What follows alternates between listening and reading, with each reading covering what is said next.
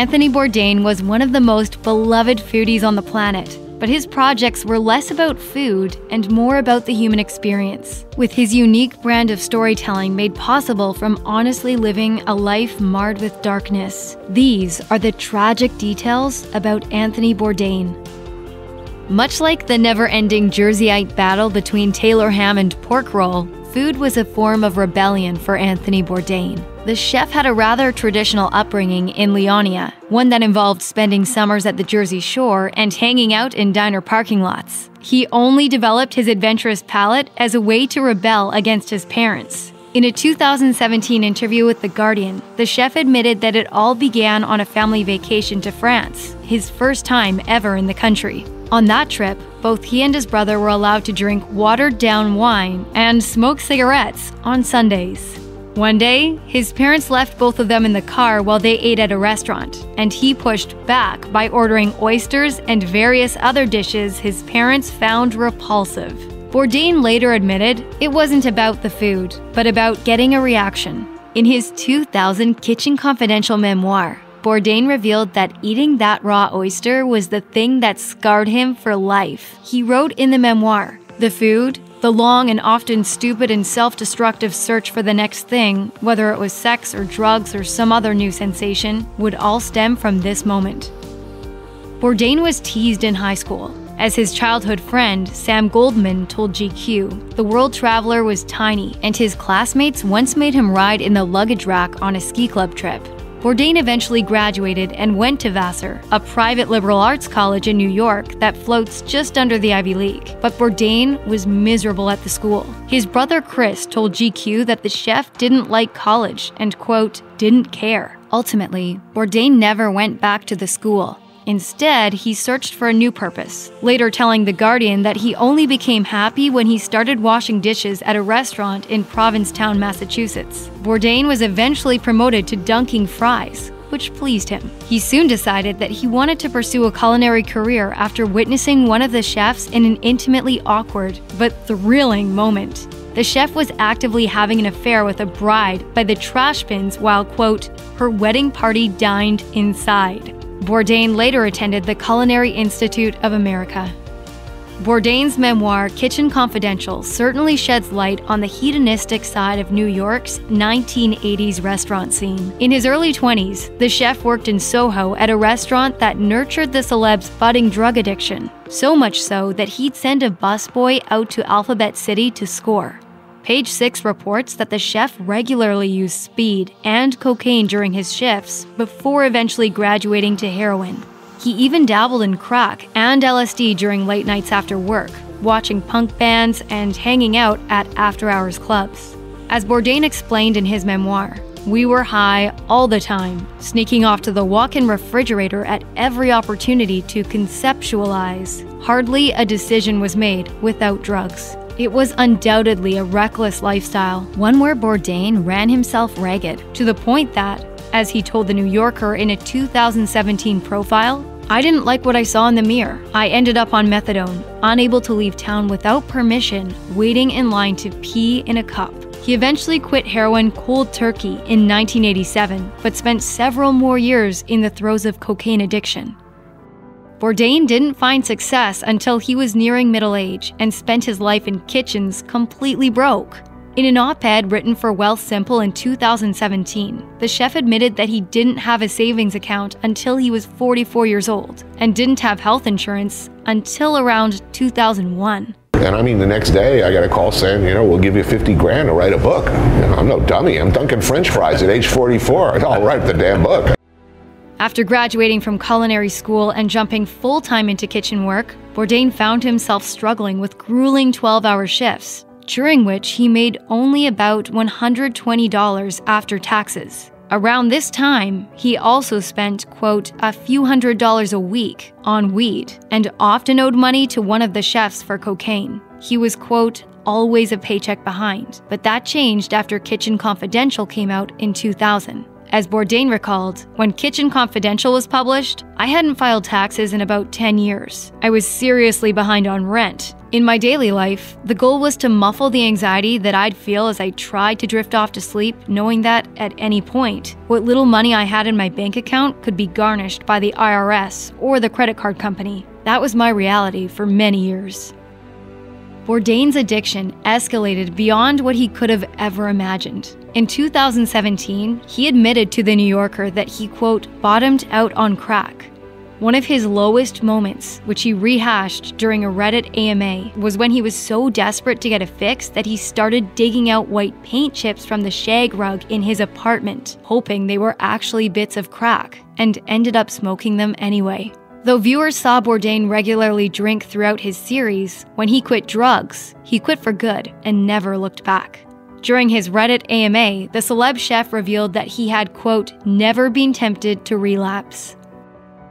Bourdain's battle with depression is something that plagued him throughout his life. In an interview with The Guardian, he admitted that during his restaurant years, he was a quote, unhappy soul with a drug problem. He carried a lot of shame and regret regarding the people he disappointed and offended during that phase of his life, but darkness followed him well into adulthood, even after he managed to kick drugs. In 2016, Bourdain gave us a deeper glimpse of his struggle with mental health while visiting Buenos Aires, Argentina during an episode of Parts Unknown.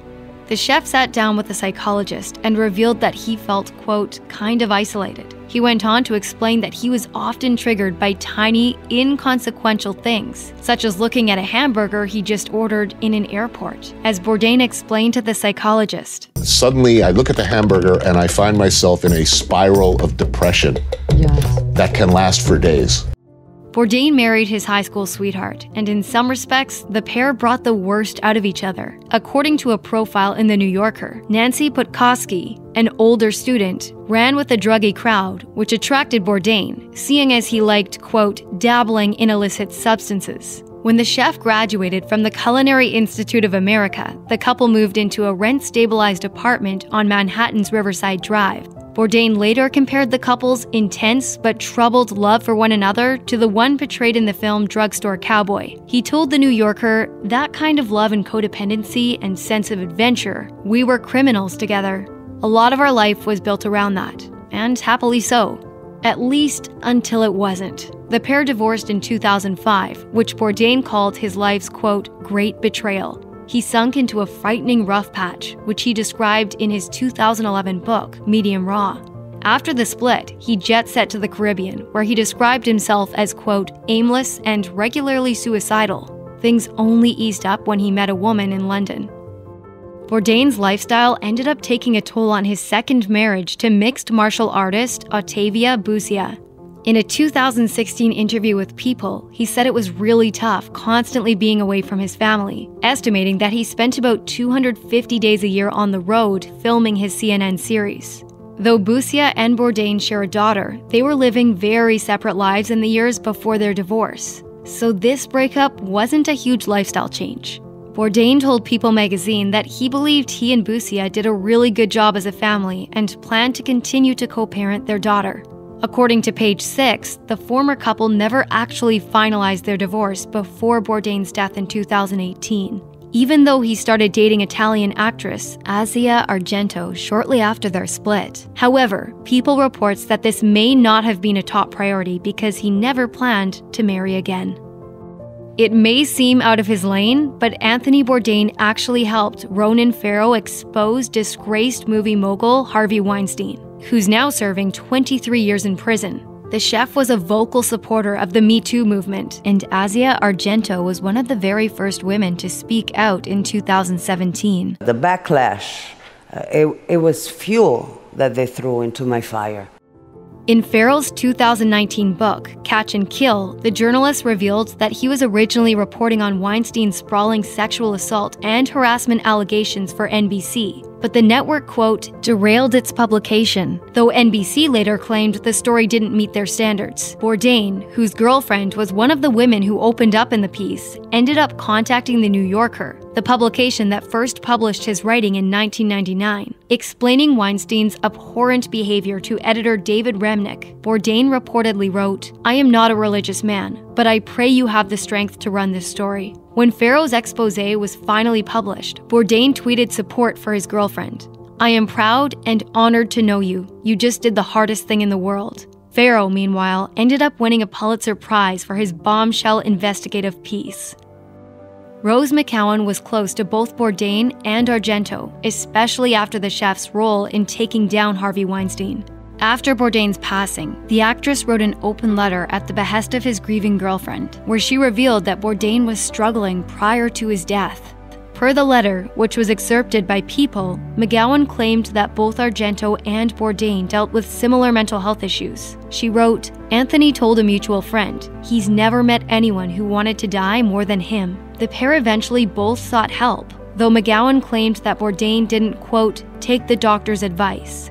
McGowan continued, over their time together, thankfully, Argento did the work to get help so she could stay alive and live another day for her and her children. Anthony's depression didn't let him. He put down his armor, and that was very much his choice. His decision, not hers. His depression won.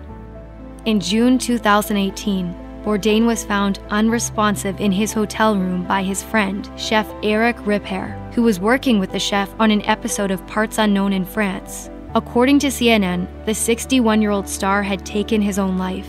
The chef's mother, who spoke to the New York Times, revealed that Ripert admitted Bourdain had, quote, been in a dark mood for a couple of days, but the act itself was perplexing. Since the discovery of his passing, Bourdain's death has been mourned by more than just his close family and colleagues. It's been mourned by an entire world who watched the chef highlight the strangest pleasures of our existence. From the radio cutting in and out during a solemn late night drive through the West Texas desert to the fantastical costume nightclubs hidden beyond Tokyo's neon lights. Those things will never be forgotten. And even among the darkness, Bourdain had a sardonic optimism that remains infectious. As Bourdain acerbically mused in a 2016 interview with Todd Aaron Jensen, I should have died in my 20s. I became successful in my 40s. I became a dad in my 50s. I feel like I've stolen a car, a really nice car, and I keep looking in the rear view mirror for flashing lights, but there's been nothing yet. If you or anyone you know is having suicidal thoughts, please call the National Suicide Prevention Lifeline at 1 800 273 TALK 8255.